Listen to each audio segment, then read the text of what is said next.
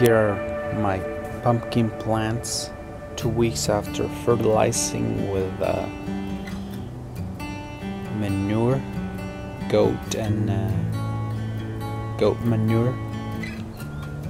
Uh, what I like about it is that it doesn't burn the plants and it gives them a lot of nutrients. I have a very bad soil that has no nutrients, but with the goat manure, it uh, makes them very productive.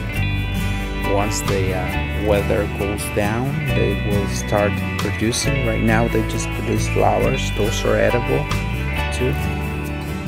And uh, I'm waiting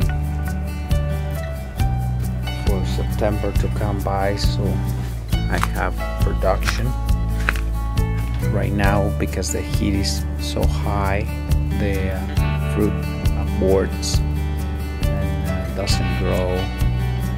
But the, once the weather is better hopefully you have a lot of pumpkins and squash.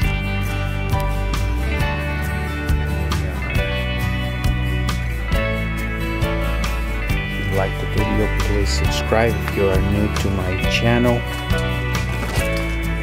invite you to subscribe because I'm gonna be uploading videos on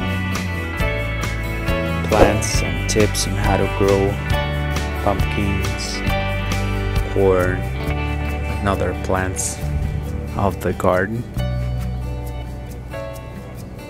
Thank you for watching